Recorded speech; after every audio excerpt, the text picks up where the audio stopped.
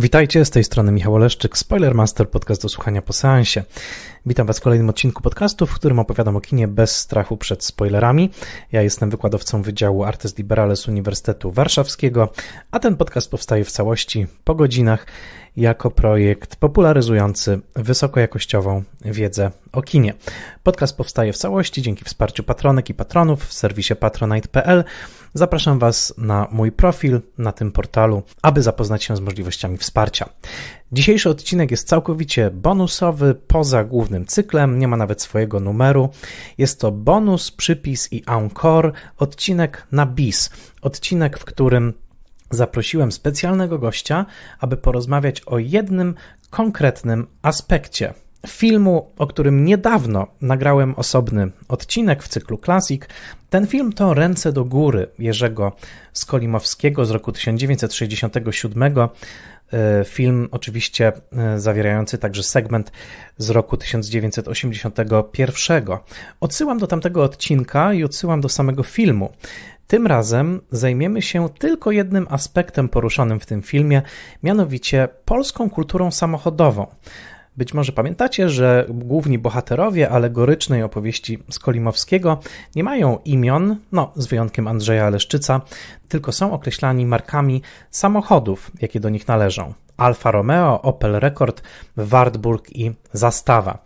Ponieważ wydaje mi się to bardzo ważny element tego filmu, bardzo znaczący, Także dla kultury PRL-u drugiej połowy lat 60. postanowiłem zaprosić gościa, który na ten temat wie wszystko. Tym gościem jest redaktor Wojciech Jurecki. To dziennikarz zajmujący się klasyczną motoryzacją, współtwórca i wieloletni redaktor naczelny czasopisma Classic Auto, a z wykształcenia antropolog kultury. Jest zafascynowany zjawiskiem samochodu i motoryzacji jako ważnego składnika dwudziestowiecznej kultury. W tym momencie także chcę bardzo ukłonić się Witoldowi Juraszowi, ponieważ to on skierował mnie do redaktora Jureckiego. Witold Jurasz sam jest wielkim fanem motoryzacji, i e, przedstawił mi właśnie Wojciecha Jureckiego, z czego bardzo się cieszę, ponieważ e, jak za chwilkę się przekonacie, jest to prawdziwy motoryzacyjny i nie tylko erudyta, którego spojrzenie na kulturę samochodową w PRL-u na pewno poszerzy wasze rozumienie rąk do góry. Ja wiem na pewno, że ta rozmowa, którą odbyliśmy pod koniec maja roku 2024, bardzo, bardzo pogłębiła moje spojrzenie na ten, wydawałoby się, zwykły i codzienny obiekt, jakim jest właśnie samochód. A zatem nie przedłużając już e, więcej, zapraszam Was do wysłuchania e, mojej rozmowy z redaktorem Wojciechem Jureckim. I jest już ze mną redaktor e, Wojciech Jurecki. Witam pana serdecznie. Dzień dobry panu, dzień dobry państwu. Bardzo się cieszę z tej rozmowy. Jest to e, odcinek specjalny i eksperymentalny, bonusowy, e, który jest takim przypisem, takim, takim dodatkiem do odcinka, który nagrałem o filmie Ręce do góry Jerzego Skolimowskiego i od razu spoiler, jak to w Spoilermasterze, e, nie będziemy rozmawiać w zasadzie o samym filmie jako takim, bo on już został dosyć szczegółowo e, omówiony. Natomiast porozmawiamy o jego jednym bardzo charakterystycznym elemencie, a mianowicie o jego elemencie e, motoryzacyjnym. W biogramie, który redaktor Jurecki mi przesłał przed tą rozmową, jest takie bardzo ładne zdanie, że Interesuje się Pan samochodami jako aspektem dwudziestowiecznej kultury i dokładnie dzisiaj o to tak. chciałem zapytać, ponieważ e, e, jak wiemy, bohaterowie tego e, dziwnego, ale też fascynującego filmu nie mają imion, tylko określają się przez swoje marki samochodów. I dokładnie o tych markach chciałem chciałem e, porozmawiać, ale zanim może konkretnie o tych markach, to właśnie o tym, e, dlaczego tak często postrzegamy ludzi poprzez to, jaki samochód posiadają. Jak pan, jak pan, to, jak pan to widzi? Na początek chciałem powiedzieć, że y, panu redaktorowi bardzo gratuluję wnikliwości, ponieważ jakby ten akcent samochodowy w filmie Skolimowskiego jest taki bardzo subtelny i przelotny. Właściwie no, y, w całości on trwa jakieś łącznie z 20 sekund, jak oni do siebie właśnie mówią tymi pseudonimami, a na końcu jest taka scena, jak się rozchodzą do swoich samochodów. Kolejny spoiler oczywiście, po to tu jesteśmy. Kwestia jest taka, czy to, że y, bohaterowie filmu Skolimowskiego mają pseudonimy od marek samochodów, coś znaczy. Film powstał w 1967 roku, był to absolutny szczyt możliwości realizacyjnych aspiracji materialnych polskiego społeczeństwa. Jeśli sobie y, pomyślimy, jaki rodzaj dobra materialnego można by w jakiejś hierarchii umieścić na samym szczycie, to absolutnie nie ma innej odpowiedzi niż samochód. W realiach PRL-u lat 60. każdy jakąś tam pracę miał. Edukacja była łatwo dostępna. Mieszkanie każdy jakieś tam miał. Wszystko podlegało ścisłej kontroli państwowej. Jedyną domeną, którą y, wolności, którą państwo dopuszczało i która była z trudem, ale akceptowana, był właśnie y, indywidualny środek transportu. Najpierw to były y, jakieś motocykle, a potem stopniowo samochody. Poza tym, w, już w połowie lat 60., no Polacy już mieli zasadniczo radia, telewizory, pralki, ogólnie jak narzekali, że czegoś im brakuje w życiu, to fabryki państwowe wypuszczały bardzo dużo pralek, żeby, żeby jakby zatkać usta malkontentom. Natomiast ciągle był problem z tymi samochodami i była to wielka, niespełniona miłość Polaków. Tak jest do dziś, ale w nieporównywalnie mniejszym stopniu. Oczywiście łatwo moglibyśmy tutaj popaść w jakąś taką mm, ostatnio typową dla, zwłaszcza dla intelektualistów, takich lewicujących narrację, traktującą z góry w ogóle jakby i pejoratywnie oceniającą w ogóle chęć posiadania samochodu, potrzebę jako coś takiego, yy, jest to po prostu w wielu kręgach widziane jako coś nieodpowiedniego. Natomiast y, ja stanowczo się odcinam od, od takiego potraktowania tematu. Uważam, że y, jeśli weźmiemy pod uwagę rozwój, powiedzmy, techniki, inżynierii w XX wieku, to nic nie zmieniło naszego życia tak bardzo jak samochód. Być może, być może to się zmieni w wieku XXI, ale jak na razie, y, mimo jakby całej nagonki na samochód w ogóle, tak realnie niewiele na to wskazuje, więc samochody dalej będą z nami i będą nam pomagać w życiu, ale yy, jako powiedzmy taki bardzo specjalny wytwór kultury materialnej, on jest bardzo niejednoznaczny, tak, bo z jednej strony dzięki samochodowi bab życie babci zostanie uratowane, bo zostanie odwieziona do szpitala, ale dwie ulice dalej dwie osoby zginą w wypadku samochodowym, więc jakby ten wynalazek przyniósł nam bardzo dużo dobrego, ale też dużo złego. I e, mimo, że samochód jest z nami od stu kilkudziesięciu lat, to ciągle jeszcze uczymy się pewnej higieny w dziedzinie występowania samochodu w naszym życiu, czyli jak zmniejszać jego wpływ na środowisko, jak zrobić, żeby był coraz bezpieczniejszy rozwój architektury modernistycznej. Bardzo ważnym wątkiem w ogóle modernizmu było zauważenie przez architektów y, masowej motoryzacji, i zamiast walczyć z nią, wymyślili sposoby na e, jakby skanalizowane, e, skanalizowanie tego oraz e, wymyślili sposoby mm, jakby higienicznego współwystępowania ludzi z samochodami. Tak wymyślono właśnie jakieś oddzielone trakty dla pieszych i dla samochodów, tak wymyślono specjalne przestrzenie przeznaczone jakby na parkingi, parkingi piętrowe i tak dalej. Tą nieco okrężną drogą tutaj znowu dochodzimy do tych lat 60. i dlaczego yy, do polskiej wielkiej niespełnionej miłości do samochodu. To już się zaczęło przed wojną, kiedy na całym świecie yy, motoryzacja eksplodowała i się żywiołowo rozwijała. No, my po odzyskaniu niepodległości wychodziliśmy z potwornej biedy i no, samochodów było bodajże pod koniec lat dwudziestych było w całej Polsce kilkanaście tysięcy dosłownie, czyli one by się nawet pół Mokotowa byśmy nie, nie, nie, nie, za, nie zastawili wszystkimi samochodami, jakie były w kraju. Nie było też dróg, nic nie było.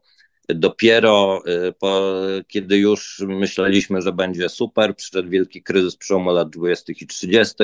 i można powiedzieć, że dopiero ostatnia pięciolatka, druga pięciolatka lat 30. była takim już bardzo można było optymistycznie patrzeć na mm, rozwój ekonomiczny kraju, a co za tym idzie motoryzacji.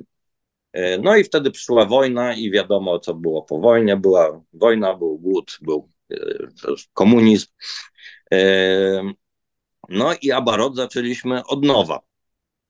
Z tym, że no, nowa władza bardzo nie lubiła mm, prywatnego transportu, doskonale zdając sobie sprawę, że to jest właśnie ten obszar mm, indywidualnej wolności, w który bardzo trudno jest zaingerować. No, kiedy tam około 1948 roku władza komunistyczna zaczęła przykręcać śrubę, to pierwsze co zrobiła, to praktycznie bardzo ograniczyła, albo wręcz zakazała posiadania prywatnych samochodów. W ogóle zakazane było z nakazem oddania na złom posiadanie samochodów z silnikami jakiejś tam pojemności większej niż bodajże 2 litry. Więc oni doskonale zdawali sobie sprawę z tego, co robią. Skończyło się na tym, że mm, bardzo trudno było powstrzymać Polaków przed posiadaniem samochodów, tym pragnieniem i a, oczywiście też obiektywną koniecznością, ale już wtedy uwidocznił się taki y, trend, który będzie funkcjonował przez cały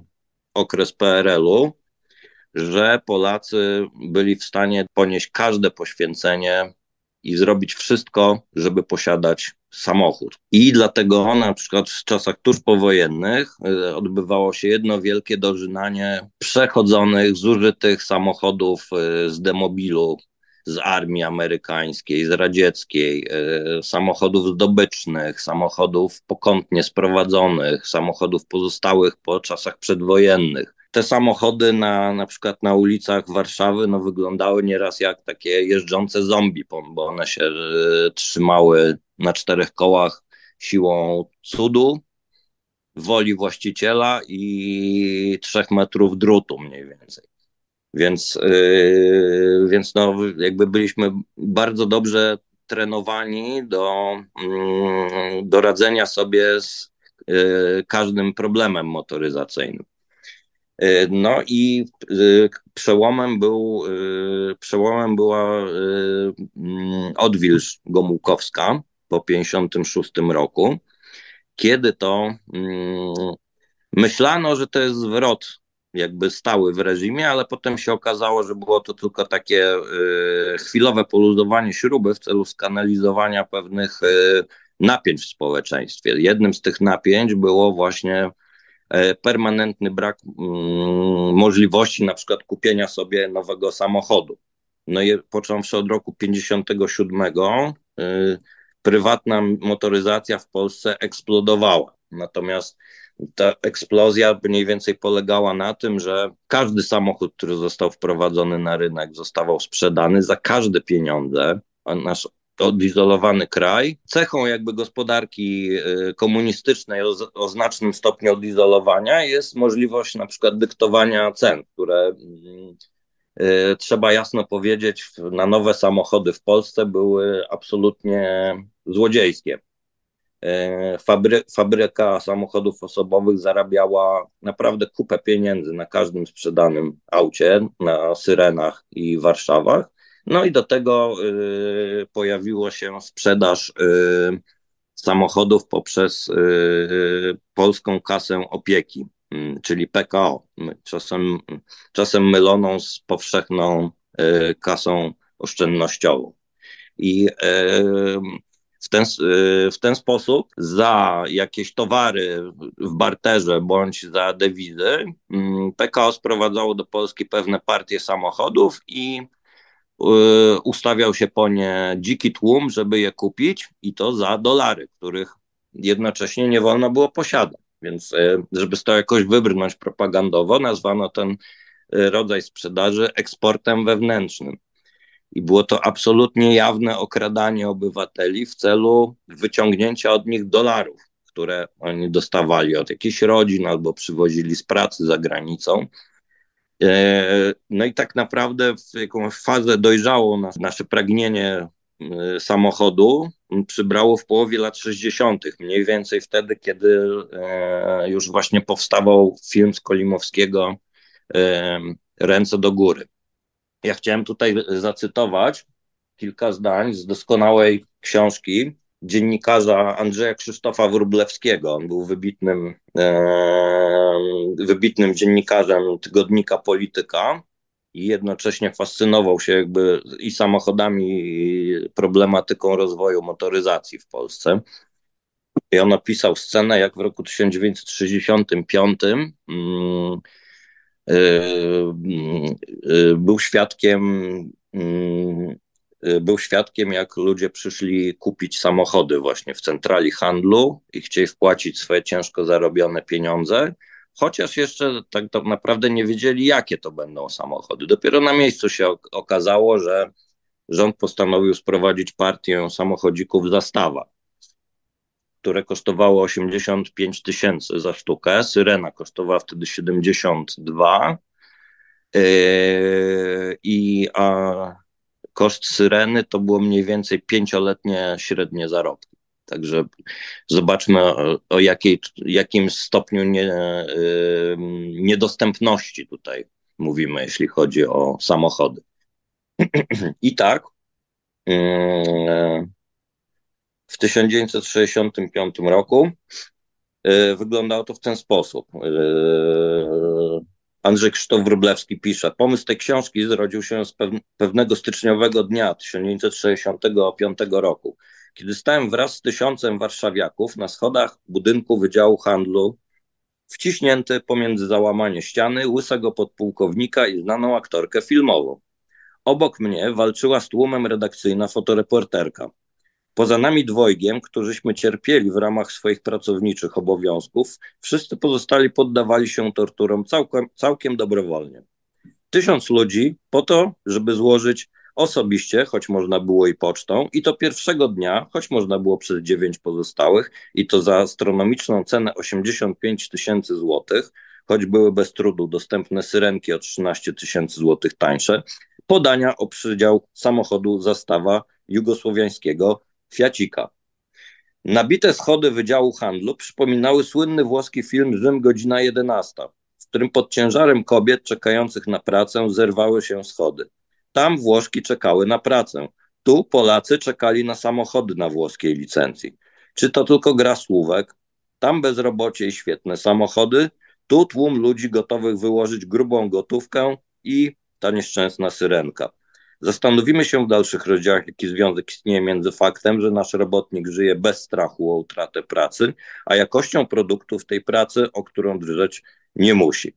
Jakby ta scena doskonale oddaje mm, według mnie y, czym był samochód i do jakiego stopnia byliśmy w, y, w stanie ponieść y, do, skłonni do jakichkolwiek poświęceń. To, że Skolimowski nazwał y, swoich bohaterów y, nazwami samochodów, uważam za bardzo znamienne, ponieważ y, to niewątpliwie wyrażało pewne aspiracje mm, całego pokolenia. Ja tylko chciałem krótki, taki osobisty wtręt, bo oczywiście w tym odcinku asymetria naszej wiedzy jest po prostu kosmiczna. Ja mam tak małą wiedzę na temat samochodów. E, natomiast ja tylko jedną e, rzecz chciałem wrzucić, że tak teraz pomyślałem, słuchając, że w sumie wiele osób w Polsce mm, mogłoby napisać swoje życiorysy albo życiorysy swoich rodzin właśnie poprzez samochody, jakie, jakie się posiadało, czy rodzina posiadała w różnych w różnych momentach. I e, chcę tylko e, dopowiedzieć taki osobisty wątek, bo mój dziadek e, Leon był mechanikiem samochodowym. Ja co prawda on zmarł, kiedy ja byłem małym dzieckiem, ale pamiętam go troszkę.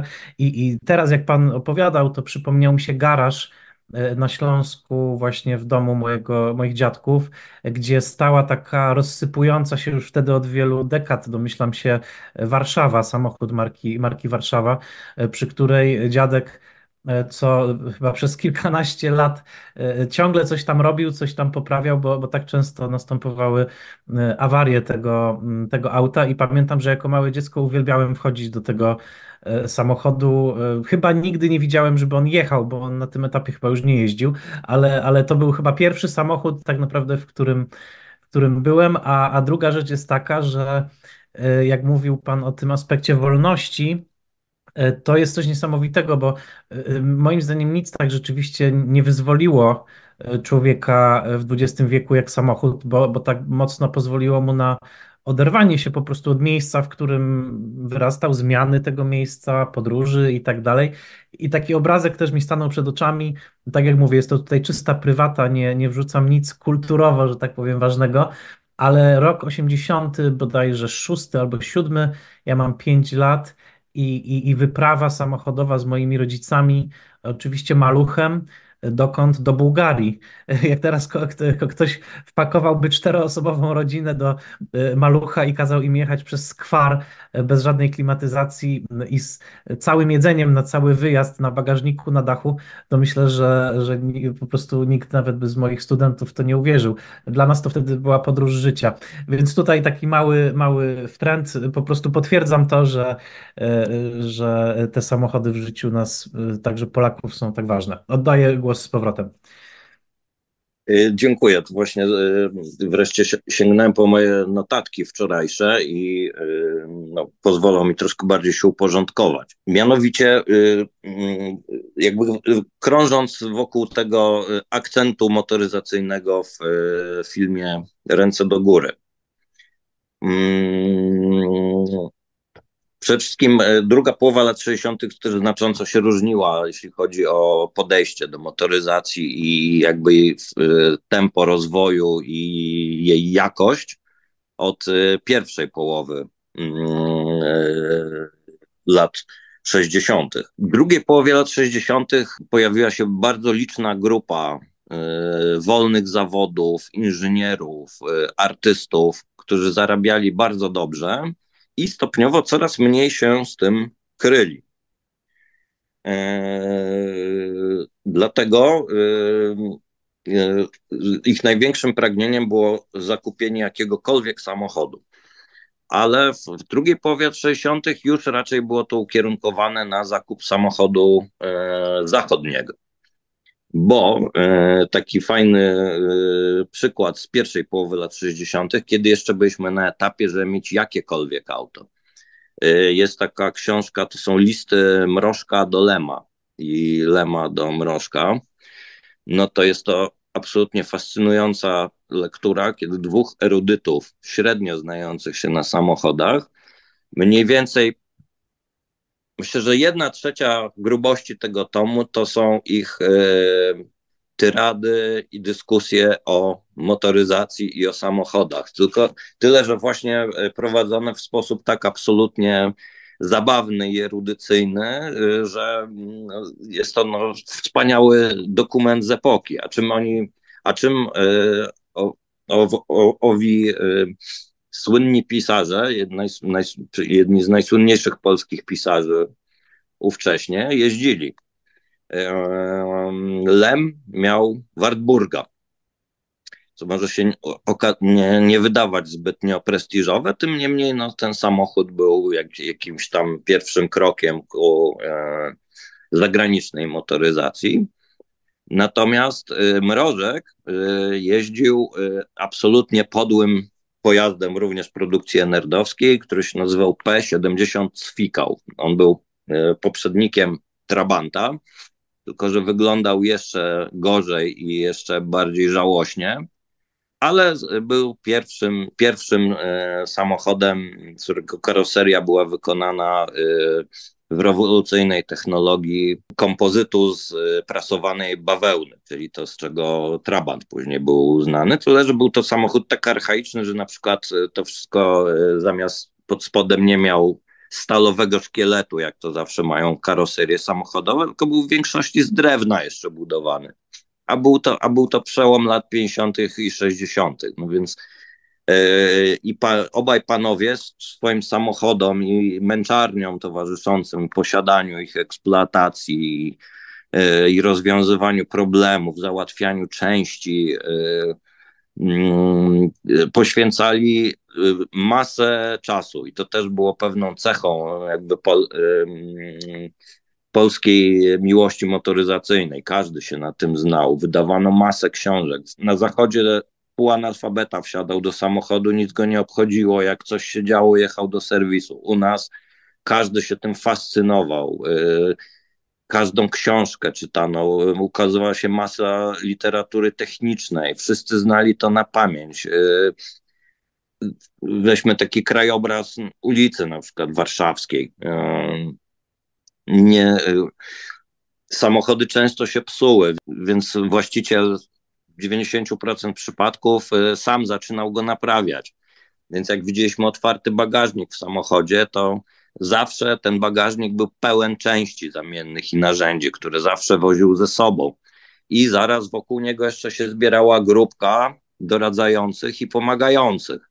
Więc jakby każdy w tym był, to była naj, yy, najbardziej podniecająca yy, część jakby życia i publicznego, i prywatnego w, w czasach PRL-u, zwłaszcza Y, tego wczesnego. I wróćmy do, y, mm, tutaj do tych y, aspiracji materialnych wyrażonych przez pseudonimy bohaterów filmu Ręce do góry. Oczywiście głód motoryzacji i to, że nie, po prostu nie mieliśmy samochodów, a każdy chciał się jakoś poruszać, to był pewien taki Mm, czynnik numer jeden, pchający nas jakby ku y, wyrażeniu tych aspiracji materialnych właśnie poprzez chęć zakupu samochodu. Ale były jeszcze dwa takie mało oczywiste, y, powiedziałbym, to są moje dwa autorskie mm, zjawiska, które popchnęły właśnie jakby ku górze nasze materialne aspiracje. Pierwszym, pierwszym była mm, absolutna bezczelność y, mm, władz partyjnych y, PRL-u w afiszowaniu się jeżdżeniem najbardziej ekskluzywnymi samochodami świata. Już od pierwszych dni po wojnie y, naj, najwyżsi notable ministrzy, ministrowie poruszali, yy, przesiedli się albo do jakichś zdobycznych limuzyn pohitlerowskich, co było w ogóle zjawiskowe. Na przykład marszałek Rola Rzymierski jeździł takim gigantycznym Mercedesem odkrytym, który był bodajże z, ze świty Geringa. Yy, Później bardzo szybko za, za dewizy wszyscy pokupowali sobie samochody amerykańskie, które yy, najnowszy Buick z ośmiocylindrowym silnikiem, z i godłem, yy, godłem polskim na przednim zderzaku, piękny, lśniący czarnym lakierem, a w nim towarzysz Bierut, ten nasz skromny towarzysz Bierut, prawda? Jadący przez wąską ulice w rozgarniętych gruzach Warszawy, no był to widok yy, wręcz no, surrealistyczny. Yy, później w, w latach 50. Yy, właściwie zaraz po śmierci Stalina nasze władze zaczęły się mm, wycofywać yy, z jeżdżenia radzieckimi limuzynami, których mieliśmy wtedy najwięcej, ale no no one nie, nie były naj, najfajniejsze i przy pierwszej możliwej okazji, typu w roku tam 54, 5, polski rząd zakupił dużą partię Mercedesów 300. To były takie duże limuzyny. Ten Mercedes jest znany jako taką ma pseudonim Adenauer, ponieważ e, to był oficjalny samochód e, kanclerza Adenauera. Przepiękne auto. Jako produkt luksusowy, ekskluzywny, no nie było na świecie nic ponadto i, e, i nasz premier Cyrankiewicz, no, Generalnie wszyscy się poruszali takimi Mercedesami, tylko do oficjalnych parad używali radzieckich e, limuzyn. Tutaj warto wspomnieć, bo a propos premiera Cyrankiewicza jest taka anegdotka, że nasz kolejny mistrz skromności, towarzysz Gomułka, który był absolutnie, brzydził się w ogóle myślą, że obywatel mógłby posiadać swój samochód niech sobie wsiada na rower albo sobie jakiś motorzyk kupi. Ten nasz mistrz sceny, towarzysz Gomułka, Cyrankiewicz o nim opowiadał, że raz dał się namówić, że się przejechać tym Mercedesem i od tego czasu już y, nie chciał wsiadać do y, żadnego innego pojazdu. Więc takie wnerwienie Polaków i ten kontrast pomiędzy właśnie biedą, y, brudem dziurawymi jezdniami, rozpadającymi się pojazdami, a, a jakby bardzo widocznymi w naszym życiu mm, czarnymi limuzynami, to był jeden aspekt, który popchnął nas, żeby jeszcze bardziej chcieć ten samochód i żeby to był jakiś fajny samochód. A drugi mój autorski e, taki czynnik tych aspiracji to jest pojawienie się w 1957 roku samochodu Syrena. Był to najtańszy samochód w Polsce, ale nie był znacząco tańszy niż, niż inne auta. Czyli on nie był, nie wiem, o połowę tańszy od następnego w kolejce i właściwie no, ludzie kupowali go e, głównie dlatego, że był dostępny i że był najtańszy, natomiast dalej był to gigantyczny wydatek ale każdy, kto miał jakiekolwiek pieniądze, starał się zrobić absolutnie wszystko, żeby nie jeździć syreną. Zresztą e, nie chciałbym tu rozwijać jakby wątku syreny, bo ona oczywiście spełniła swoją funkcję w motoryzowaniu kraju, bo po prostu była i w miarę tam w większości przypadków nawet jeździła, ale coraz bliższy jestem jakby poglądu, że stan wojenny, jakieś bardzo poważne rozruchy w, w kierunku obalenia komunizmu wystąpiłyby o wiele szybciej w naszej historii, gdyby nie samochód Syrena, gdyż nasz obywatel był zajęty leżeniem pod nią, naprawianiem jej, y, próbą dojechania do domu bądź bieganiem po mieście w celu załatwienia przez znajomości jakichś części zamiennych. Więc wyobraźmy sobie, że ten skomasowany czas y, tych tysięcy kierowców można było uwolnić na inne aktywności, co wtedy mogłoby się wydarzyć. Zmierzając y, do sedna, w aspiracjach chodziło nawet już nie tyle o to, żeby mieć samochód, tylko żeby mieć samochód zachodni. I pojawia się tutaj pewne pytanie takie, czy to, że y, bohaterowie filmu mają y, te ksywy typu Alfa Romeo, Opel Rekord, Zastawa, czy można powiedzieć, że jeden jest lepszy, a drugi gorszy, może tak jak tak jak te samochody, czy można, czy można powiedzieć, że była tu jakaś yy, powiedzmy hierarchia w motoryzacji, no bo skoro wszyscy Polacy się tym fascynowali, yy, no to zapewne jakby postrzegano jedne marki wyżej, drugie niżej. No więc tutaj też troszeczkę rozwinę tę myśl, powiedzmy, dygresyjnie. Zbadałem ten temat dość dogłębnie i odpowiedź moim zdaniem brzmi nie. Mieliśmy zasadniczą dychotomię tylko na motoryzacja polska, motoryzacja zachodnia. Y, wszystko, co było zachodnie, było dobre. Nie, y, nie było to trudne, żeby jakby każda marka miała mm, dobrą re, renomę, czyli markę, ponieważ w latach 60. zasadniczo samochody wszystkie budowano bardzo solidnie, porządnie, na wiele lat. I generalnie nawet y, jakiś, nie wiem, niemiecki najprostszy samochód okazywał się niezwykle odporny na, na trudy polskiej eksploatacji, więc jakby posiadanie czegokolwiek z zachodu powodowało, że już należeliśmy do tego lepszego świata. Jeśli można mówić, że jakaś marka samochodów wystawała ponadto, to yy, od absolutnie dziesięcioleci to ten, takim królem wszystkiego był u nas jest, no może już, dzisiaj już to nie jest takie yy, oczywiste, ale ten jakby pamięć o tym została, yy, był Mercedes. E, natomiast jakby wszystko inne było mniej więcej równe.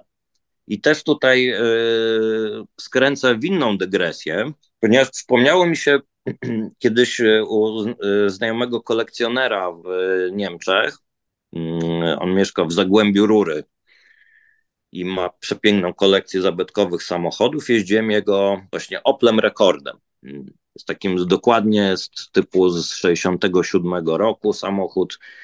Był bardzo mało eksploatowany. Yy, przez 40 lat przejechał bodajże przez 50 lat, bodajże 16 tysięcy kilometrów.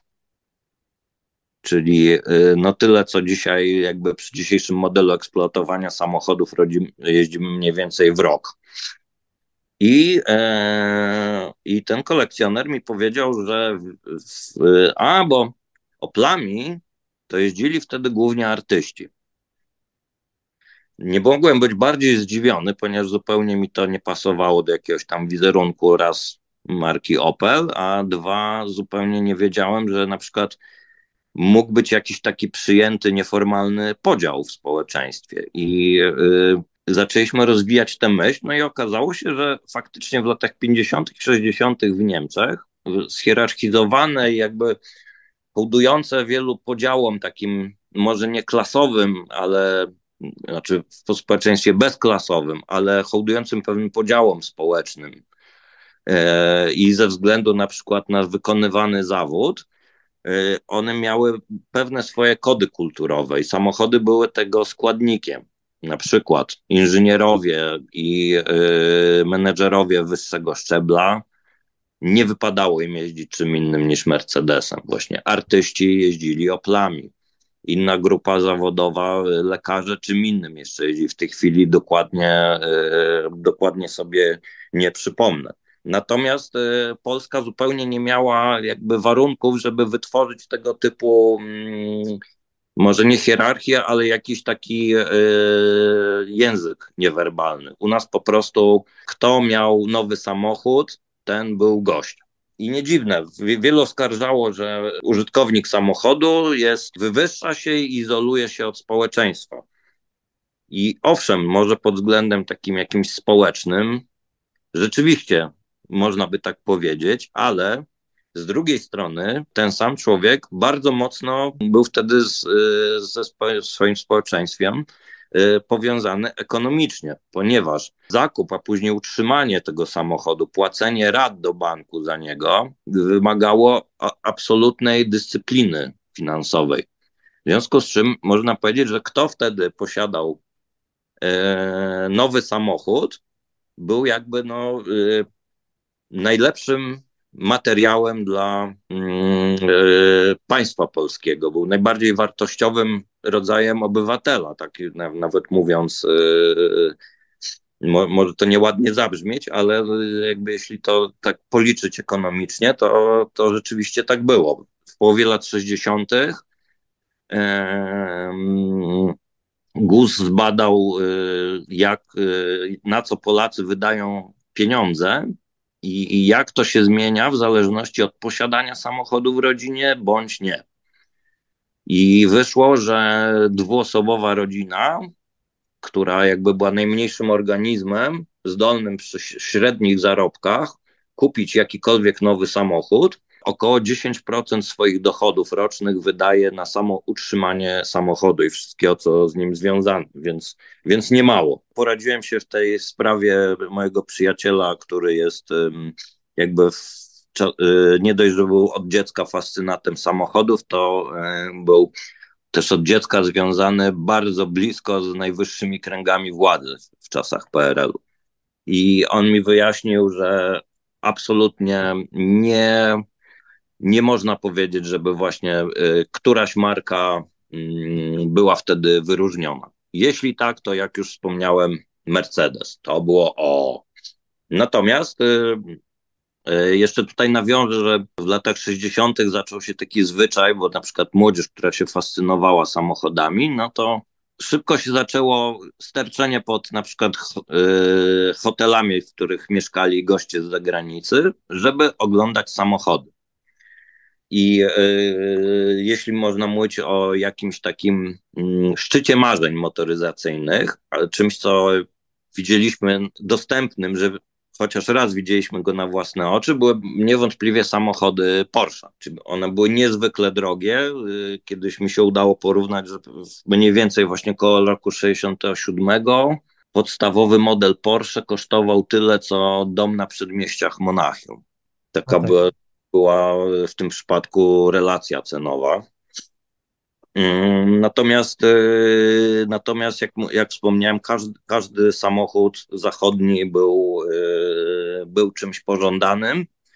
Y, najmniej może z tego towarzystwa Wartburg, ale z kolei wśród samochodów z tak zwanych demoludów, czyli krajów, krajów demokracji ludowej, z kolei no, Wartburg uchodził za taki no, najlepszy i najbardziej pożądany wóz, zwłaszcza tutaj jeszcze chodziło o taki ten starszy model, nie, to, nie, nie tą taką paskudną blaszankę, która jak się zamykało drzwi, to taki okropny odgłos się y, y, rozlegał, tylko o ten taki starszy model utrzymany w stylistyce lat 50. Nasza dramatyczna i niespełniona miłość do samochodów powodowała, że mieliśmy właśnie Boga na ziemi, którym właśnie był samochód i motoryzacja w ogóle. Ludzie, którzy poruszali się samochodami zachodnimi, z pewnością rzucali się tutaj w oczy. To kóło yy, uwierało i wzbudzało yy, zazdrość, nieraz czynną zazdrość rodaków, jak również niepotrzebne zainteresowanie jakichś władz skarbowych, y, organów jakichś milicyjnych i tak dalej. I trzeba powiedzieć, że mm, w latach, lata 60. to jeszcze był moment, kiedy bardzo ostrożnie mm, ludzie, którzy mieli pieniądze, bardzo ostrożnie ważyli jakby ten aspekt y, obnoszenia się ze, ze swoją zamożnością. Na przykład, to by wyjaśniało, wcześniej cytowałem kawałek e, książki pana Wróblewskiego, jakim szturmem Polacy w 1965 roku ruszyli, żeby kupić samochodziki Zastawa. One, to były na licencji Fiata, Fiacik 600, taki piękny, garbaty samochodzik z, z, silnikiem z tyłu. On był bardzo, był już samochodem zachodnim, jeżdżącym bardzo przyzwoicie, o bardzo przyzwoitej opinii, natomiast ciągle wyglądał skromnie, i jeszcze przy dużej partii tych samochodów na polskich ulicach, one się jakoś rozmywały. Natomiast jeszcze w latach 60. tylko ludzie najlepiej umocowani i najbardziej zaprzyjaźnieni, zaprzyjaźnieni z, z, jakby z władzami mogli sobie pozwolić na epatowanie bardzo egzotycznymi samochodami. To się zmieniło z kolei w latach 70. już Zagierka, już jawnie jawnie ludzie e, kupowali sobie jakieś właśnie bardzo egzotyczne auta i, i po prostu już zaczął się e, jawny wpan samochodami na mieście. No, bo z drugiej strony e, słyszałem historię na przykład o jednym bardzo bogatym przedsiębiorcy, prywaciarzu, który mm, właśnie po to, żeby się nie rzucać w oczy, on zawsze jeździł Peugeotem 504 też dzisiejszego punktu widzenia, jakby może nam być trudno uwierzyć, że mm, lata 60., 70. Peugeot był jedną z e, takich, należał do grona marek eks, autentycznie ekskluzywnych. Mm, I te samochody były bardzo wysoko oceniane i były no, wspaniałej jakości estetyki y, i, i wszystkiego. E, łącznie z tym, że nawet do, do Polski, w latach 70. w polskim rządzie używano wie, wielu pelotów. No więc wracając do tego bogatego przedsiębiorcy, on właśnie jeździł tam bodajże granatowym Peugeotem 504 i co trzy lata kupował sobie nowy samochód, dokładnie taki sam, żeby nikt się nie zorientował, że on sobie wymienił auto na nowe. Także posiadanie samochodów w naszej rzeczywistości PRL-owskiej generowało szereg różnych problemów i yy, które trzeba było w jakiś sposób rozwiązać, właśnie również takich wynikających z funkcjonowania w społeczeństwie. A co z, z serwisowaniem tych zachodnich samochodów? No przecież nie było salonu, do którego można było pojechać, jeżeli on się e, e, zepsuł, prawda? PKO, które sprzedawało e, samochody prowadzone z zagranicy, miało obowiązek również zapewnić ich serwis, przynajmniej gwarancyjny. Więc gwarancyjny serwis zapewniano w tak zwanych ASO, czyli autoryzowanych stacjach obsługi. Nie było to jakby trudne, ponieważ tu był kolejny czynnik jakby umęczania i oszukiwania obywatela. Gwarancja na samochód wtedy zazwyczaj wynosiła 6 miesięcy i była liczona nie od momentu, kiedy klient dostał ją do rąk, samochód do rąk, tylko od momentu, kiedy samochód przekroczył granicę y, kiedy był jakby sprowadzany do Polski. Więc y, jeśli na przykład y, takie, nie wiem, partia Renault Dauphine postała sobie trzy miesiące przed sprzedaniem, no to nabywca dostawał nowy samochód z trzymiesięczną gwarancją. Więc jakoś tam trzeba było sobie poradzić z tym serwisem. Oczywiście części nie było, wprowadzano jakieś tam partie tych części, a tego było zawsze za mało. No i tutaj y, oczywiście lukę wypełnił rynek prywatny. Była absolutnie setki, tysiące prywatnych warsztatów. Metodą na przykład handlu obwoźnego, znaczy nie obwoźnego, tylko przywoźnego, typu z podróży służbowej w walizkach części do zastawy były przywożone. To cokolwiek miał właśnie z zachodu, co posłużyło do naprawy auta, mm, mógł mieć absolutną pewność, że to sprzeda i to jeszcze za jakieś bardzo, bardzo wygórowane pieniądze takim y, bardzo ciekawym połączeniem państwowych autoryzowanych stacji obsługi i, i warsztatów prywatnych był jakby czarny rynek y, części samochodowych. Polegał na tym, że to jest przykład już z epoki, kiedy pojawił się u nas maluch, czyli to po, po roku 72 autoryzowanych stacjach obsługi e, właśnie głównie naprawiano, e, świadczono naprawy gwarancyjne. No ponieważ e, ten samochód był wykonany tak, jak był wykonany, no to było sporo tego naprawiania.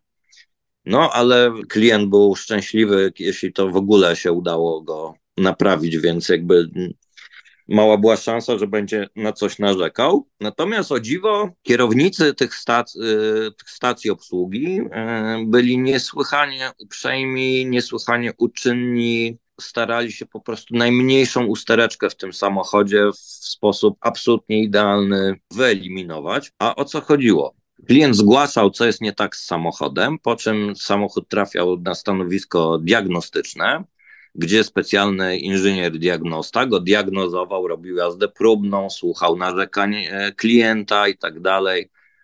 Mm, no i się okazywało na przykład, że no, wie pan co, no pół samochodu tu trzeba wymienić. No więc mu to wszystko na gwarancji wymieniano, klient był zadowolony, e, nic nie płacił i teraz te e, wymienione części z, typu z 30 części tylko dwie trzeba było tak naprawdę wymienić. Resztę wymontowano prawie nowe części, które następnie szły mm, na specjalne zamknięte podwóreczko, gdzie raz w miesiącu przyjeżdżała komisja i komisyjnie niszczyła bądź gdzieś tam wywoziła, więc wtedy yy, więc trzeba było wtedy zapłacić tak zwane od, za odstąpienie od yy, czynności yy, kasacyjnych, łapóweczkę i kierownik wspólnie z diagnostą opychali te części do prywatnych warsztatów, które zresztą też sami prowadzili po godzinach.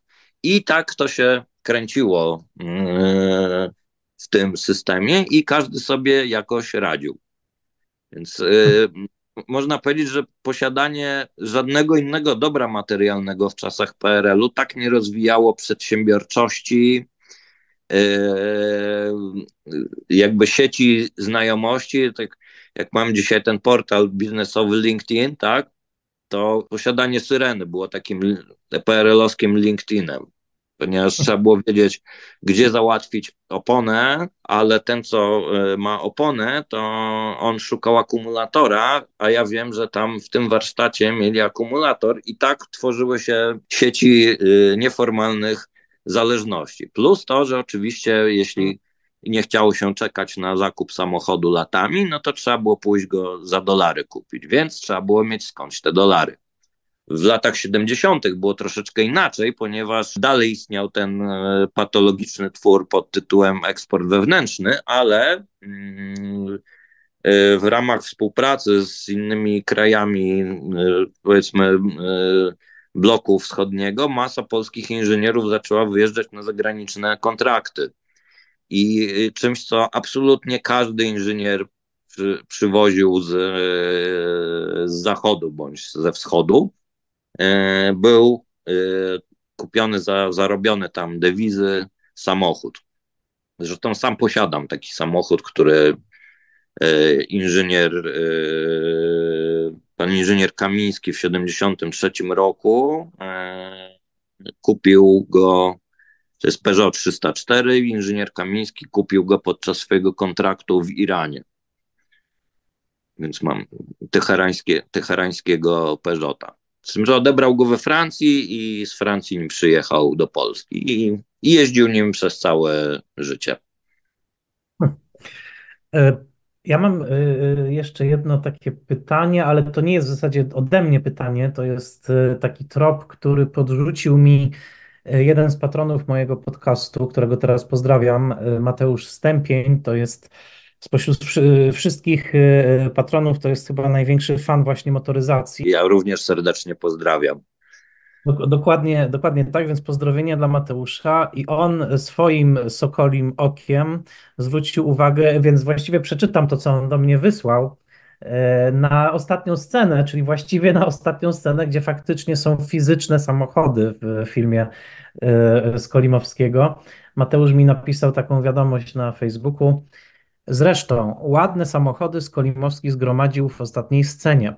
To, że stoją na wagonie lawecie Renault 8, Dacia 1100, to, że stoi na drodze Nowy Wartburg 353, to nic, ale stoją dwa Jaguary. Jeden to MK1 lub MK2, bo są do siebie podobne, drugi to MK10 chyba, znany potem jako 420G, taki sam jak, jaki Cyrankiewicz sprezentował swego czasu Ninie Andrycz no i Alfa Romeo Giulia, znane w kinie jako typowy radiowóz włoskiego filmu policyjnego lat 60. i 70.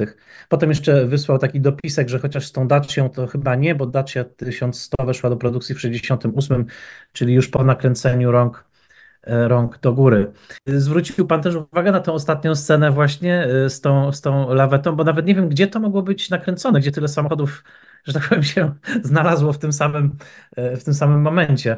Tego, tego po prostu nie wiem. Natomiast e, e, nie wiem, czy coś pan, pa, pańską uwagę tam w tym finale zwróciło.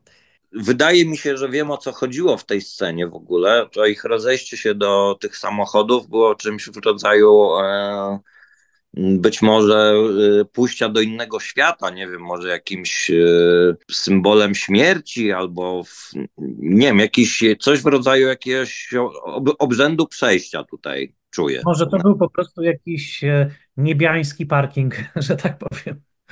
Parking w zaświatach, o, możliwe.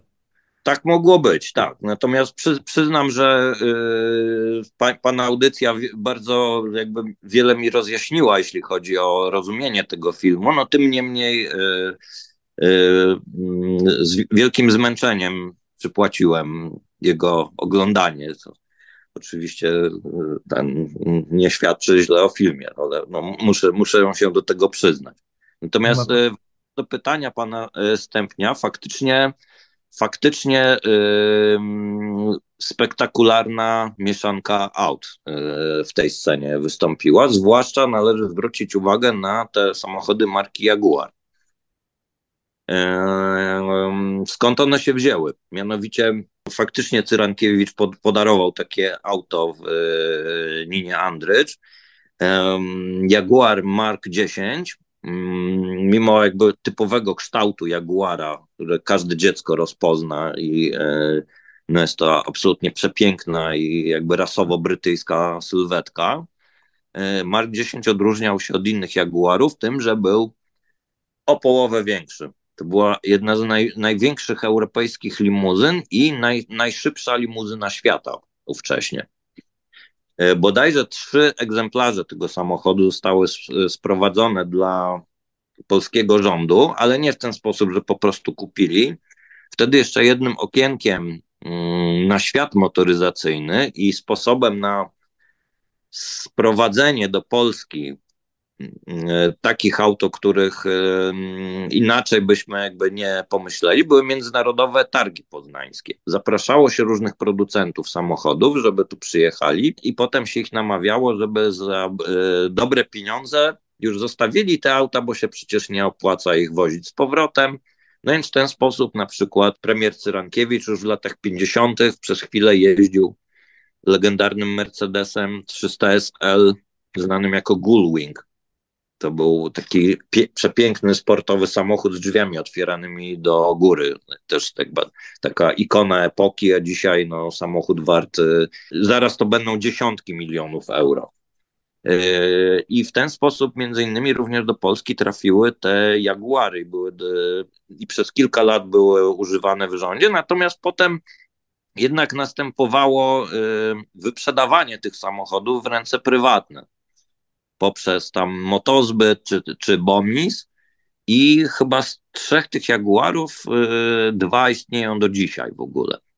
Również były te mniejsze Jaguary Mark II albo tam Type S yy, i z nich też chyba jeden istnieje do dzisiaj. Również istnieje kilka Mercedesów z, yy, z epoki wczesnego Gierka i, i późnego Gomułki Cyrankiewicza. No, no bardzo, bardzo ciekawie się działo motoryzacyjnie. Alfa Romeo Giulia y, również jest tu dość znamiennym przykładem, bo y, faktycznie było trochę tych samochodów w Polsce, mimo że one były straszliwie drogie.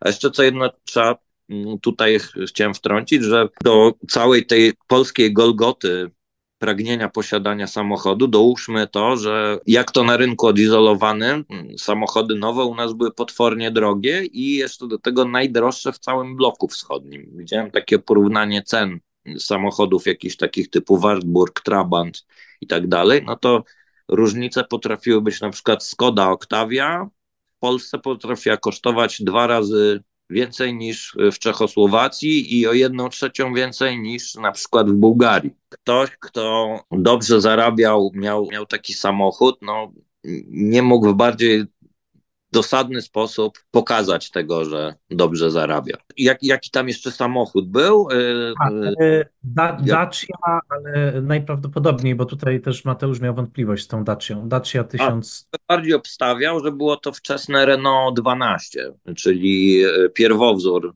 licencyjnej Daci, który zresztą no, też Dacia była bardzo wysoko oceniana później przez yy, polskich kierowców, chociaż i tak była o wiele, wiele gorzej wykonanym samochodem niż yy, właśnie pierwowzór, bo Renault, Renault 12, czyli to, co wyglądało jak późniejsza Dacia, no to jeszcze ja chyba w 2005 byłem w Maroko i tam był to absolutnie powszechny samochód wykorzystywany na wsi, w miastach, było tego pełno. Mimo, że te samochody miały już po ponad 40 lat, ale były tak solidne, tak dobre, tak oszczędne, że, e, że niechętnie się ich e, pozbywano. Więc naprawdę, ciekawa mieszanka. W, ogóle krajobraz polskiej ulicy w tamtych czasach to było w ogóle jak wizyta w Luna Parku. E, było takie bogactwo różnych samochodów, od, od tych e, trzymających się na drucie samochodowych zombie z czasów powojennych albo nie wiem, ciężarówek z podemobilu z armii amerykańskiej. Tutaj kłania się Chłasko i jego na przykład baza ludzi umarłych po limuzyny rządowe, samochody prywaciarzy, jakieś auta sportowe, no i w tym wszystkim jeszcze na przykład, nie wiem, taksówki. Samochody Warszawa były masowo okupowane na taksówki i mimo, że nic nie uzasadniało już w latach 60. dalszego produkowania tego naprawdę archaicznego klamota i że on kosztował tyle, co bodajże dwie syreny, to, on, y, to te auta były chętnie kupowane na taksówki i przez jakieś tam y, państwowe y, instytucje. Ale też na taksówce może, mogliśmy na przykład zobaczyć kupioną na wyprzedaży porządową limuzynę jakiegoś Zim Gaz 12, jakąś czajkę, ale Również y, na przykład w Polsce był absolutny kult samochodów amerykańskich, który właśnie zaczął się od samochodów rządowych i na przykład ogromną partię Chevroletów sprowadzono y, do Polski, takich z lat od 49 do powiedzmy 54 i te samochody okazały się no, y, w nieprzewidziany sposób solidne. Jeszcze bardzo, bardzo długo jeździły, mm, mimo braku części, mimo że właśnie nie, nie było absolutnie jak trzeba było wszystko dorabiać, kombinować, sztukować. Kilka lat temu zresztą mieliśmy fantastyczną przygodę w moim czasopiśmie Classic Auto ówczesnym. Opisaliśmy, jak w samym centrum Warszawy wnuk otworzył garażyk taki po dziadku, który jest w mieście w podwórku i to nie było na jakimś, to nie było na jakimś yy, odludziu, to jest to podwórko przy ulicy Mokotowskiej. Tylna ściana garażu jest jednocześnie ogrodzeniem ambasady amerykańskiej, więc można powiedzieć, że absolutnie w ścisłym centrum otworzył przy nas garaż, w którym stał właśnie taki Chevrolet z połowy lat 50., którym jeździł jego dziadek fryzjer z Alei Ujazdowskich i ten samochód zaparkował tam, jak e, e, przestudiowaliśmy dokumentację, na przykład do kiedy był ubezpieczony i miał ważny przegląd. Wychodzi, że dziadek zaparkował tylko Chevroleta w garażu w roku 76. A my ten garaż otworzyliśmy w roku bodajże 2015. Znowu troszkę oddryfowałem, ale yy, chciałem pokazać właśnie, jak bogaty był yy, krajobraz motoryzacyjny. Tak, tak. To jest, to jest niesamowite. Ja tutaj, bo jeszcze dosłownie ostatnie dni teraz jestem na, na stypendium Fulbrighta właśnie w Chicago i mieszkam tutaj w dzielnicy mm, Pilsen E, ona zawdzięcza swoją nazwę czeskim imigrantom, którzy tu przyjechali w XIX wieku. Obecnie, obecnie jest to głównie meksykańska dzielnica, natomiast dosłownie wczoraj, tak tylko nadmienię, bo przygotowywałem się już do naszej rozmowy, a wczoraj wyszedłem na spacer i tutaj na ulicy, przy której mieszkam, 18 ulica, akurat się odbywał taki festyn uliczny, takie święto ulicy i wyjechali właśnie kolekcjonerzy starych amerykańskich aut, e, oczywiście pięknie stuningowanych, odnowionych i tak dalej. I tak przechadzałem, oczywiście znowu nie miałem tak dobrego przewodnika przy sobie, ale przechadzałem się pomiędzy tymi Chevroletami głównie i, i byłem w szoku już któryś raz, jakie wielkie te samochody były, że one rzeczywiście były takiej, takiej szerokości, no jakby taka wielka, no nie wiem, szafa jechała przez przez, przez ulicę. No, był, to fajny, był to fajny widok. E, czy, czy Polacy obecnie, e, ma Pan wrażenie, tak e, powoli zmierzając do konkluzji, są już nasyceni? Bo mówił Pan tak dużo o tym nienasyceniu, że, że to był ten wielki głód tego, czy już się, czy już przez, przez te trzy ostatnie dekady udało nam się ten głód zaspokoić, czy, czy ten samochód gdzieś pozostaje nadal mistyczny dla nas, ten zachodni samochód, tak powiem szerzej? No właśnie, y, ciężko tutaj mi wypośrodkować pomiędzy dynamiką zmian i rewolucyjnością jakby rozwoju motoryzacji, no bo mieliśmy po wojnie dwa takie momenty. Pierwszy to był ten 57 rok, kiedy w ciągu dwóch lat liczba zarejestrowanych aut w Polsce wzrosła o 100% a drugi, no to przełom 89 roku. No bo kolejny dowód, y, co dla Polaka jest najważniejsze w życiu, jeśli chodzi o jego wolność. Tak, pierwsze, co zrobili Polacy w 89. Oczywiście ruszyli na zachód kupić sobie samochody, jak, jakiekolwiek. To może być Audi po pięciu wypadkach, BMW, które pierwotnie było dwoma BMW, byleby to nie były te nasze stare, przechodzone samochody. E, I wtedy też e, pojawiło się zjawisko porzuconej syrenki. Mm, jakby jednym z symboli takich przemian kulturowych w Polsce lat 90. Zresztą jest taka doskonała książka antropologa profesora Rocha Sulima, Antropologia Codzienności, właśnie temu poświęcona. Na okładce jest zdjęcie zaparkowanej przy śmietniku takiego wraku syrenki, po którym po dachu skaczą dzieci. I pozbycie się tej znienawidzonej syrenki, jej dosłowne wyrzucenie pod śmietnik było pewnym jakby symbolem naszego rozstania e, z tamtym systemem. No i, i pytanie, czy tam po tych powiedzmy no, już 40 latach po przełomie, czy już jesteśmy nasyceni no właśnie z jednej strony mieliśmy te rewolucje i przełomy, ale z drugiej strony jednak no, natura ludzka zmienia się bardzo powoli. Tym niemniej, yy, tak jak, no, jak moje pokolenie dorastało, było absolutnie oczywiste, że wszyscy się fascynowali samochodami, interesowali, nawet niektóre dziewczyny. Dzisiaj zupełnie, zupełnie się to zmieniło. Właściwie w jakiejś większej grupie, nie wiem, nastolatków, dzieci, można na palcach jednej ręki policzyć te dzieci, które się w ogóle jak odczuwają jakieś y, zainteresowanie, jakąś fascynację jakby tym rodzajem urządzenia, to dla mnie jest oczywiście nie, niepojęte, jak można się nie, nie fascynować samochodami.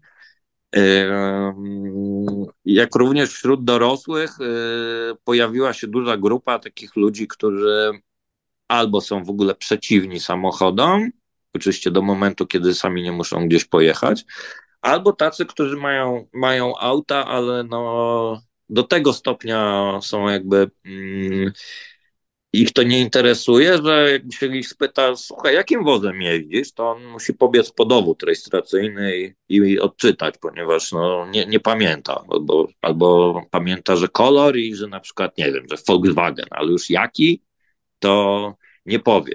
Więc jakby kiedyś byłoby nie, raczej nie do pomyślenia, a dzisiaj, a dzisiaj jest już y, bardzo widoczna właśnie grupa ludzi, którzy już tym się nie fascynują, traktują to zupełnie y, użytkowo. Y, dostępność samochodów jest zupełnie inna niż, niż kiedyś była. Właściwie, właściwie no dzięki tam sposobom finansowania, kredyty, raty, leasingi, no to właściwie właściwie no każdy może mieć prawie dowolny samochód, tak oczywiście przesadzam, ale, ale no w porównaniu z dawnymi czasami to yy, tak yy, jest. I no można powiedzieć, że, że już się troszeczkę nasyciliśmy motoryzacją, chociaż mm, mimo, yy, mimo tam różnych narracji, w których przeciwnicy motoryzacji twierdzą, że a u nas to jest tam więcej samochodów niż w Niemczech. To, to nieprawda. Ciągle jest u nas samochodów mniej na obywatela niż, niż za granicą, co zresztą nie jest żadnym czynnikiem wartościującym. No, ja mam osobiście trzy samochody, no, ale to wcale nie znaczy, że ja jeżdżę tymi trzema samochodami, tak? No fizycznie mogę jeździć jednym samochodem, więc jakby co, co jest w tym złego, że ja mam trzy auta, prawda? To, to, to nie świadczy o tym, że cierpimy na jakąś y, chorobę samochodową po prostu jedni mają ich więcej, drudzy mniej. No, niedawno byłem w Monachium, no to tam no, posiadanie tam dwóch, trzech samochodów jest czymś absolutnie absolutnie normalnym. I jeszcze ostatnie powiedzmy pięć lat, kiedy no,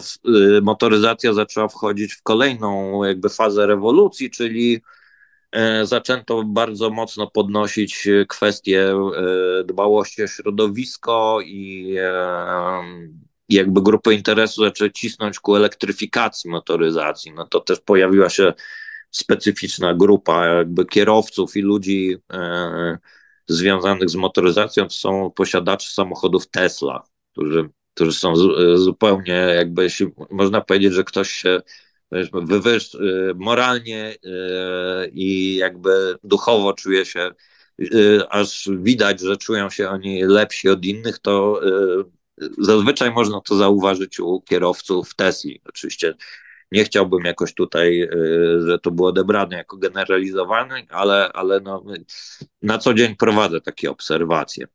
Więc y, ponieważ Tesla jest samochodem, w którym wszystko jest inaczej niż w normalnym aucie i wręcz jest pomyślane dla kogoś, kto jest taki antysamochodowy, to właśnie bym, za, bym to, yy,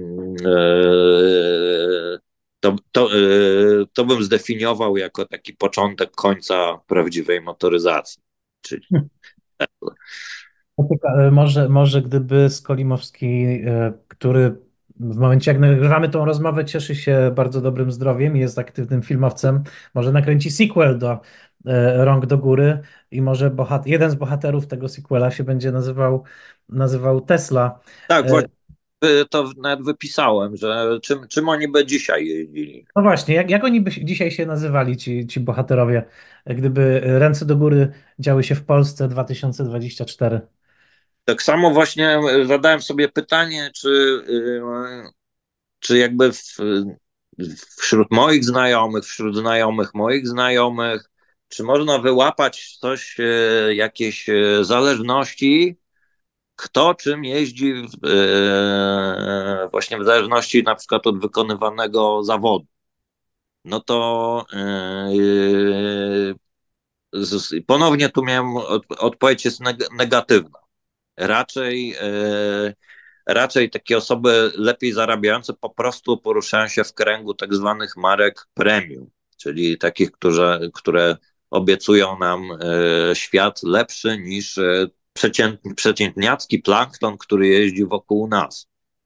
Więc, e, więc dzisiaj bohaterowie myślę, że mieliby ksywki takie jak Audi, BMW, może niekoniecznie Mercedes, bo to powiedzmy lekarz za bardzo by już nie jeździł Mercedesem, raczej jakimś suwikiem Audi, jeden byłby Tesla, a żeńska bohaterka byłaby Mini. Okej, okay, mini, mini Cooperem. Tak, tak, tak, tak, bym obstawiał. Ale oczywiście to kwestia e, jak najbardziej otwarta. Super. E, to ja mam jeszcze jedno ostatnie pytanie. Nie zapowiadałem go wcześniej, ale zależało mi na spontanicznej reakcji. Mianowicie, gdybyśmy teraz weszli do wehikułu czasu i przenieśli się do roku 67 i gdyby stanął Pan naprzeciwko dokładnie tych samochodów, e, które mamy w filmie Skolimowskiego. To znaczy stoi przed panem Zastawa, stoi Alfa Romeo, stoi Opel Rekord i stoi Wartburg. Który samochód pan wybiera i dlaczego? To tak jak e, wielokrotnie mnie pytano, a jakie jest twoje 10 ulubionych samochodów? No bo przecież powinienem takie mieć, tak? Mówię, nie wiem, kocham je wszystkie. Aczkolwiek chyba bym najchętniej bym stamtąd odjechał Alfa Romeo Giulią, ale gdyby do dyspozycji było z, z tej sceny przytoczonej przez pana Stępnia, to y, moim pierwszym wyborem byłby Jaguar Mark 10, absolutnie. To jest jeden z moich takich car crash. Y, y, to jest absolutnie jeden z moich ukochanych samochodów świata. Zresztą kiedyś bardzo dużo jeździłem takim Jaguarem i on pokazuje, co to znaczy, y, że samochód może zmieniać świadomość. To ja w takim razie od dzisiaj będę marzył o takiej przejażdżce. Dziękując z całego serca, jestem przekonany, że dla naszych słuchaczy to właśnie była taka niezwykła przejażdżka z najlepszym możliwym kierowcą. To jeszcze ostatnie y, pytanie po scriptum y, y, dla naszych słuchaczy. Po tej rozmowie, gdzie mogą znaleźć jeszcze Pańskie materiały, gdzie mogą Pana śledzić? Jak, jak tą Pańską pasję samochodową, gdzie najlepiej śledzić po wysłuchaniu tego odcinka? W tej chwili bym zaprosił do, do mojego najnowszego materiału w czasopiśmie Twój styl man to jest taki dodatek dla mężczyzn, e, gdzie e, staram się rozwikłać fenomen japońskiej motoryzacji. Piszę w nim zarówno o tym, skąd się wzięła jakby klasa i absolutny prymat japońskiej motoryzacji na świecie, e, jak oni stali się mistrzami miniaturyzacji samochodów, jak to wygląda dzisiaj, e, patrząc na ostatni salon tokijski, e, gdzie jakby rewolucyjne koncepcje w tematyce e, transportu indywidualnego przedstawiono. Więc starałem się te narracje całościowo połączyć. Również to okraszając naszym polskim spotkaniem z japońską motoryzacją, czyli co się działo w latach 80. i 90., jak, jak stopniowo się do nich przekonywaliśmy. Natomiast jeśli chodzi o temat, o którym dzisiaj rozmawialiśmy, to chciałem Państwu polecić właśnie książkę pod tytułem Kolebka polskiej motoryzacji Andrzeja Krzysztofa Wróblewskiego. Jest to absolutnie najlepsza książka poświęcona e, wycinkowi historii fabryki samochodów osobowych w Warszawie oraz e, też książkę mojego przyjaciela e, i kolegi redaktora Tomasza Szczerbickiego Samochody w PRL rzecz o motoryzacji i nie tylko. Jest to wspaniała podróż kulturalno-techniczno, finansowo-ekonomiczno-polityczna przez czasy PRL-u, e, widziana właśnie z okien samochodu i pokazująca, jakby wielowątkowym zjawiskiem była u nas motoryzacja i jak e, wszystko miało na nią wpływ, a jak motoryzacja miała wpływ na wszystko. Więc hmm. te dwie pozycje chciałbym Państwu serdecznie polecić. Super, bardzo, e, bardzo dziękuję. E, swoją drogą też jeszcze ostatnia prywatna anegdota, e, jeżeli chodzi właśnie o FSO na żeraniu, to ja miałem przyjemność pracować przy serialu mm, Kanal Plus The Office.pl, czyli polskiej wersji The Office. No i ona jest w całości, znaczy sceny biurowe, czyli większość serialu jest kręcona, zainscenizowana właśnie w jednym z budynków dawnego FSO i, i nigdy tego nie zapomnę, bo byłem tam parę razy na tym planie, kiedy, kiedy kręcili e, i przechadzałem się po prostu po tych biurach, bo to wszystko było otwarte, korytarze stały w zasadzie tak, jakby ktoś to w jeden dzień po prostu wszystko zostawił. Tam były wciąż e, e, gabloty, wystawki jakieś takie dla pracowników, przepisy BHP, dokumentacja, to wszystko po prostu leżało tak, jakby ktoś opuścił tą fabrykę dosłownie z dnia na dzień. Było to takie trochę nawet no niesamowite e, wrażenie, więc to, to, mi się, to tak tylko chciałem,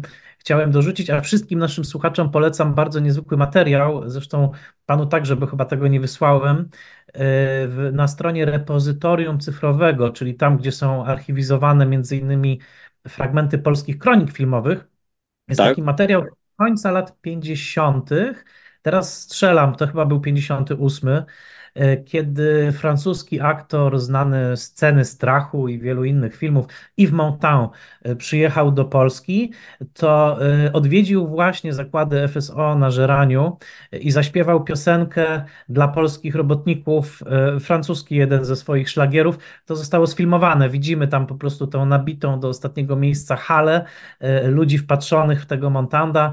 On tam śpiewa chyba Sessi Bon, jeśli dobrze pamiętam. Po czym na samym końcu wsiada ze swoją małżonką, Simon Signore, też słynną aktorką. E, no właśnie, ja, ja nie rozpoznam do jakiego oni samochodu wsiadają, ale pan to rozpozna. E, odjeżdżają sobie do trochę innego świata niż tego, w którym właśnie przez chwilkę e, zaśpiewali no, w tym, na tym żeraniu. Także to jeszcze tylko takie dwa okruszki do tej. Doskonałe. E, bardzo mnie pan zaciekawił, do czego mogli wsiąść. E, moja nerdo, nerdowska część e, umysłu domaga się odpowiedzi na czy, czy oni wsiedli do jakiegoś francuskiego auta, czy też polskiego. Bardzo dziękuję redaktorowi Wojciechowi Jureckiemu i dziękuję Wam za słuchanie tego bonusowego, nienumerowanego odcinka Spoilermastera. Zapraszam Was serdecznie i do słuchania dalszych odcinków i do rozważenia wsparcia mojej pracy w portalu patronite.pl. Do usłyszenia wkrótce.